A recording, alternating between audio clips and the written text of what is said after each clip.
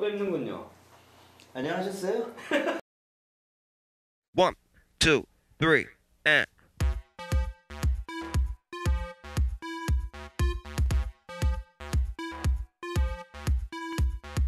블루토 TV 테크 포럼 오픈 스택 2탄. 반갑습니다. 안녕하셨습니까? 어, 왜 이렇게 거만해요? 알아보는 분 많다고 거만해지셨군요. 이렇게 궁금해하시는 분들이 많을 줄은 꿈에도 몰랐죠. 네. 예. 어쨌든 뭐 이런 식으로 해서 도움의 단초가 된다면 저로서는 뭐 집안의 영광. 네, 오늘은 저번에 말씀하신 대로 노바, 스위프트 좀 깊이 들어가 보자고 했는데 오늘 노바 한번 해보죠. 근데 자고로 이제 예부터 가르치는 자는 계속 게으르지 말아야 된다 말씀들을 다 하시곤 하지 않습니까? 근데 사실 저도 역시 깊이 들어가면 들어갈수록 네. 아 한글이 아닌 게 참 아쉬운 것 같습니다. 아, 영어로 예. 영어 잘하시잖아요. 아, 그거랑은 또 다른 문제 아니겠습니까? 다만 이제 뭐 여러모로 아쉬운 부분이 있습니다만은 그래도 어쨌든 써보고자 이런 식으로 해서 점진적으로 들어갈 수 있는 어떤 클라우드 세계가 더 넓어진다면 대한민국에서 빨리 저도 공부 많이 하고 더 많은 거를 또 알려드릴 수 있도록 하고 또 여러분들로부터 또 들어야지 될 말도 또 많이 듣고서 질문을 또 풀어가야지 되는 숙제도 좀 있는 건 사실입니다. 네, 예. 이번에 뭐 관제 타워? 예, 어, 관제타워, 예, 소개해 그렇죠. 예, 관제타워, 노바, 네. 노바. 뭔가 예, 노바. 말씀드린 대로 관제타워입니다. 지금 보시다시피 지금 상당히 노바라는 많네요. 예, 많죠. 그 얘기는 즉 관여를 해야 될 것들이 상당히 많다라는 것들이 확실하겠죠. 그럼 이제 그 안에서 관제돼야지 돼야 되는 것들이 얼마나 많겠습니까? 예를 들어 뭐 OS를 하나 만든다고 하더라도 뭐 상당한 API들이 뭐 네트워크 모니터링에서부터 그 다음에 그쪽에 있는 뭐 디스크의 파일 시스템들이 어떻게 나갔다 들어갔다 하는지에 대한 모니터링 그 다음에 각각의 서비스하고 있는 인스턴스 지금 여기서 말하는 지금 인스턴스들이라는 거는 상당히 뭐 일종의 서비스 대상이 되는 일종의 하나의 가상 머신이 돼서 이 안에서 쭉 돌아다니는 저 인스턴스들을 또 잘 관제를 해야지 되는 것들이고 네. 그러면서 이것들이 또 잘 돌아다닐 수 있도록 뭐 정확하게 마치 그 타임테이블이 있는 것처럼 스케줄이 또 잘 돼야지 되고 그리고 그 안에서 어떤 사고가 일어나지 않도록 또 관제도 또 해줘야지 되겠죠. 뭐 여러 가지 노바가 하는 일들이 많습니다. 뭐 크게 볼 때는 노바가 가지고 있는 관제 역량은 상당히 많습니다. 지금 뭐 보시는 대로 볼륨을 관리하는 영역도 있고요. 아, 볼륨. 예. 그 다음에 스케줄을 관리하는 영역도 있겠고요. 그 다음에 저쪽에 노바 API를 관리하는 영역도 있겠죠. 그래서 크게는 뭐 API 서버다. 그 다음에 메시지 큐를 관리를 하고 있다. 지금 가운데 큐 서버가 있게 되겠죠.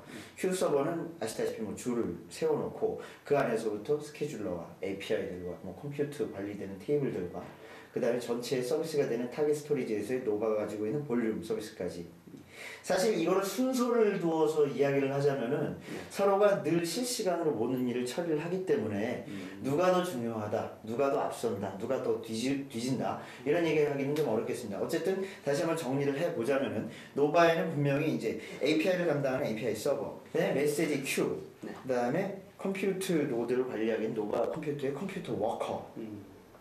그 다음에 보시는 대로 지금 네트워크를 관리하는 노바 네트워커, 그 다음에 스케줄 전체를 관리해주는 노바 스케줄러.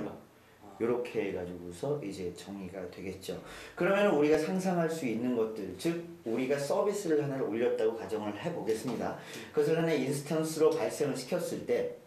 그 서비스의 요구가 이제 뭐 www를 통하거나 아니면 특정 지역의 네트워크 영역 내에서 서비스를 접근 가능한 영역에서 그 큐가 들어오게 되게 되면은 노바 네트워크로 일단은 들어오게 되겠죠. 노바 네트워크 안에서 이제 스위프트라든지 아니면은 메타DB 형태의 가상 DB 팜이 되는 이미지 팜이 되는 저 글랜스 쪽으로 접근이 돼서 API가 해석을 하면서 사용자로부터 호출이 되는 것들이 네트워크에 쌓이면서 동시에 이제 호출을 하게 되겠죠. 그래가지고 그 호출된 내용이 이제 노바 Q에 이제 적체가 되겠죠. 그렇게 되면서 최종적으로 그것이 어떤 컴퓨팅 환경으로 다시 재해석을 하면서 실제 사용자가 받아들일 수 있는 것들. 그 안에서 뭐 물리적으로 너는 몇 번째 들어왔으니까 몇 번째 서 있어라. 음. 그 다음에 너는 특정 어느 영역에 있는 거니까 어느 영역에 있으니까 그것을 좀 참조를 하자. 그리고 참조 영역을 서비스를 해주는 것은 둘 중에 이제 글랜스하고 이제 스위프트가 일종의 파일 시스템처럼 일종의 객체화되어 있는 데이터베이스처럼 그것들을 참초된 것, 창조된 것들을 이제 특정 볼륨에 있는 영역들을 또 찾아와 가지고서 그것을 스케줄링을 잘 해준 다음에 사용자에게 다시 궁극적으로 노바 네트워크를 통해서 다시 빼서 공격적으로 서비를 해, 서비스를 해주는 모델이 되겠죠. 아, 그 설명 들어보면 되게 간단해 보이고 단순해 보이는데 되게 어렵다면서요, 근데 이게 중요하고. 사실은 어렵다라는 거는 설치가 참 어려운 것 같습니다. 근데 사실 뭐 참 어렵다 얘기를 하게 되면은 전체의 평균을 뭐 좀 너무 높이거나 음. 아니면 뭐 잘하시는 분들의 평균을 너무 깎아버리거나 이런 것 같은데요.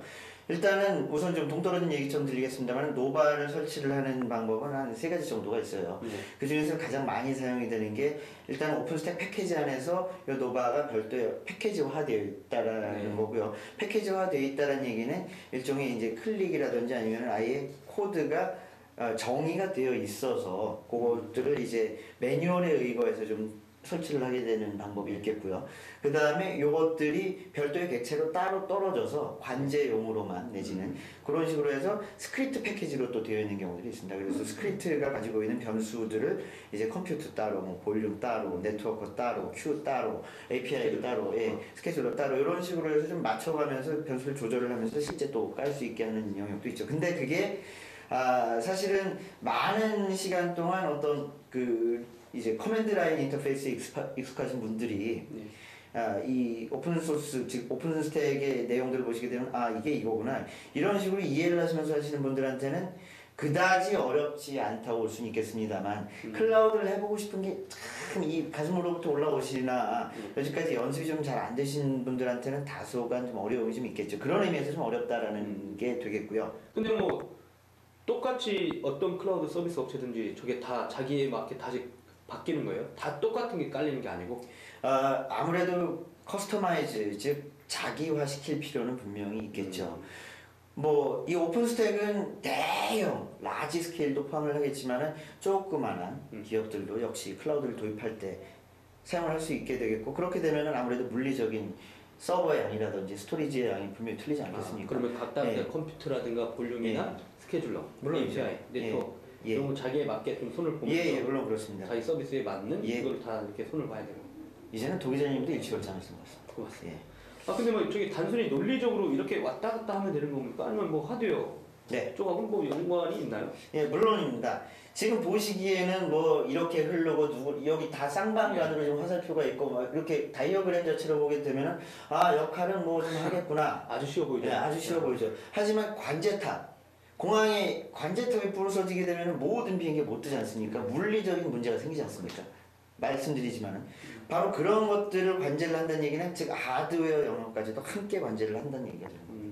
하드웨어를 관리한다는 건 또 어떤가요? CPU 사용량이라든지 아. 네트워크의 트래픽 사용량이라든지 그리고 네트워크 장치에 대한 어떤 뭐 장치와 관련된 동작 그다음에 하, 서버가 가지고 있는 기본적인 중요한 그 메모리 CPU 뭐 하드디스크 네. 이런 것들 뭐까지도 computing resource까지도 함께 관제를 하게 되는 거죠 왜냐 노바는 노바 자체로서 시스템 전체를 아우르면서 네트워크 전체를 아우르면서 그 다음에 그 안에서 왔다리 갔다리 하는 API의 속성들, 즉 개발자의 개발 asset들까지도 모두 해석을 하고 그것들을 저장하고 지웠다가 다시 생성하고 그리고 즉각적인 호출을 하고 아니면 큐에다 놔두고 호출을 하고 이거는 물리적인 베이스가 있기 때문에 동작하는 거 아니겠습니까, 그죠? 그렇기 때문에 노바에서 어떤 하드웨어 fault가 생긴다고 할 경우에는 노바 전체가 죽느냐? 또 그렇진 않습니다. 노바가 그만큼 또 스마트하게 에, 구조적으로 설계가 되어 진짜 있다는 그. 궁금했어요. 그러니까 만약 노바가 깔려 있는 물리적 서버가 예, 이게 절단 나면 예, 어떻게 되는지 예, 지가 알아서 도망 이렇게 딴 데로 도망 다니나요? 예, 바로 그렇습니다. 노바는 죽지 않습니다. 스위프트도 죽지 않습니다. 음. 반드시 물리적인 RAID가 구성이 돼 있어도 아니 돼 있어야만 산다. 이런 식의 과거의 구조적인 개념들은 이 오픈스택 개념을 통해서 좀 잊어갈 필요는 있습니다. 아. 어쨌든 더 많은 내용이 더 획기적인 내용이 숨어 있는 건 분명합니다. 음. 자 이렇게 해서 다음번에 또 다시 한번 알아보는 기회를 분명히 약속드리겠습니다. 네. 자 그러면은 여기서 객체적으로 노바는 하드웨어까지도 관장을 하고 각각의 이름만 보더라도 대충 무엇을 할 수 있는 것들을 알아보 이- 음. 이제 알 수 있다라는 것들은 어느 정도 설명을 좀 드리게 된 것 같습니다. 그런데 이게 다소 중구난방이니까요. 음. 다시 한번 정의를 하면서 가죠. 일단은 보이는 대로 노바는 기본적으로 저 우측에 green으로 초록색으로 보이는 거. 음. 노바 API 저 영역은 외부 세계와의 어떤 클라우드 infrastructure와 연동하게 되는 어떤 하나의 구조적인 관문이라고 보시게 되면 되는 거고요. 음. 이 API 서버는 사실은 이 component 위주로 즉 개발자 향해 서비스를 하고자 하는 기업 업체 혹은 누군가 서비스를 하고자 하는 자, 그 주체의 어, 서비스 모델이 담겨져 있는 하나의 component 라고 보게 되면 될 것 같고요. 이것들이 이제 외부 세계, IT 세계, 외부 세계의 어떤 그룹들, 예를 쉽게 얘기해서 파트너? 우리 뭐 파트너도. 좋고요. 우리의 뭐 기, 우리가 사무실 쓰는 이 노트북을 통해서 들어가고자 하는 어떤 서비스. 관문, 다른 서비스일 수도 있겠고요.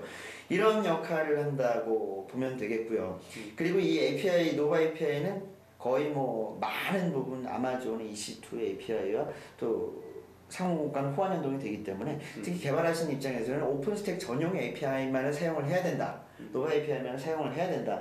이런 범주에서 벗어나실 필요가 분명히 있겠고요. 음. 이미 또 많이 개발이 되어 있는 기본적인 상용 아 어, 무료 API들이 있기 때문에 그것을 통해 가지고서 세계와 연결되는 접점을 요 이제 노바 API를 통해서 구축을 해 주실 수 있겠죠. 그 다음에 이것들을 통해 가지고서 서비스가 되는 instance들이 이제 호출을 통해 가지고서 노바 네트워크를 또 타고 들어오게 되지 않겠습니까? 노바 네트워크는 이 오픈스택의 구조적인 전체의 네트워크를 setup을 하는 것은 기본이고 기본적으로 타겟 서버 즉 오픈스택의 스위프트가 어디 있는가 그 다음에 뭐 글랜스가 어디 있는가 예 이런 것들 그리고 각각 역할을 하는 노드들이 어디에 있는가에 대한 이제 랜 설정을 기본적으로 또 할 수 있는 요구를 주는 거죠. 어떻게 보면은 노바는 그 자체로도 상당히 OS와 같은 역할을 할 수 있다고 보게 되겠죠. 그러면 여기서 뭐 계속 오픈스택을 알아가는 것도 중요하지만 이 노바 혹은 이 노바 스위프트 글랜스를 통합한 이 오픈스택 그 자체로 볼 때는 어떤 기업들에게는 향후에 더 큰 비즈니스를 꿈꾸는 네. 기업들에게는 이것을 마치 bare metal화 시켜서 특정 장비에 appliance 예 최적화 시켜서 appliance 형태로 이 세상에 내보낼 수도 있게 되겠죠. 아. 예 실제 그런 현상들이 이미 꿈틀꿈틀 되고 있고요. 오늘은 이 대한민국에서도 그런 기업들이 나와서 이, 뭐 물론 소스는 서양의 것이지만은 네. 이게 우리의 어떤 자산으로 세계를 또 펼칠 아, 수 있는 고객이 원하는 걸. 갖다가 하드 장비에다 최적화 다 시켜가지고 그거죠. 원하는 예, 대로 그렇습니다. delivery 해주면 예, 아 고객 입장에서는 예. 내 서비스에 맞는 거 탁탁 네, 줄수 그렇죠. 있게 왜냐? 다 지금 도기자님도 봐- 확인하신 대로 computing 서비스까지 음. 볼륨, 스토리지 연관된 부분들까지 지웠다 삭제했다 살렸다 음. 저장해놨다 그 다음에 그 업무를 할 수 있는 스케줄링까지 그리고 그것들을 주- 예, 줄 세웠다가 네트워크 프레임까지 모든 것을 관리를 할 수 있도록 한다는 것은 상당히 의미가 있는 부분이라고 볼 수가 있겠습니다. 그리고 하드웨어까지 궁극적으로 컨트롤을 한다라는 얘기는 상당히 우리에게 많은 비즈니스 기회를 분명히 창출할 수 있는 국내 뭐 제조업체들한테도 상당히 기회가 될수 예, 있고 그렇습니다. 분명히 그렇게 저도 이해를 하고 있고요. 자, 그래서 노바 API는 그렇게 설명을 끝냈고요. 그 다음에 compute worker 같은 경우에는 아, compute, 이 노바 compute 쪽이 되겠죠. 이 instance가 같이 포괄이 되어 있습니다. 이 instance에 대한 존재 기간, 즉 라이프 사이클이라고 얘기를 하는데 이 큐 내에서도 이 네트워크 안에서도 이 스케줄 안에서도 이 instance가 호출이 끝나서 사용자에게 서비스를 마무리를 했다. 그럼 그게 더 이상 존재할 필요가 없지 않습니까? 뭐 물론 proxy라든지 아니면 특정 캐시 영역을 통해 가지고 저 instance가 살아있을 이유는 있겠습니다만은 이 Nova compute worker 쪽에서는 compute 쪽에서는 저 instance를 관리를 하면서 저것들이 다중 호출이 있을 경우라든지 아니면 충돌이 난다든지 하는 어떤 그 balancing을 이제 큐라든지 어, 큐라든지 아니면 스케줄을 통해 가지고 scheduler를 통해 가지고 서비스를 할 수가 있게 되겠고요. 개발자라든가 뭐 서비스 사업자들의 그 소프트웨어 엔지니어들 입장에서 보면 한 네. 사람이 네. compute도 다 이렇게 손볼 줄 알아야 되고 그럼 볼륨도 손볼 줄 알고 scheduler도 네트워크 다 알아야 되는 거예요? 아니면 팀별로 각자 맡아라 이렇게도 보통 진행되나요? 아, 분업이 되어준다면은 더없이 좋을 수 있겠습니다만은 그 분업이 되어준다는 얘기는 더 많은 생산적인 어떤 미팅을 계속적으로 하면서 서로 같은 페이지에 있어야. 되겠죠. 근데 제가 볼 때는 아, 이것이 계속 리비전이 되는 오픈소스이기 때문에 한 사람이 어떤 티밍을 통해 가지고 전반적으로 분업 아닌 분업 보시다시피 이게 전부 다 화살표와 관계가 있지 않습니까? 네.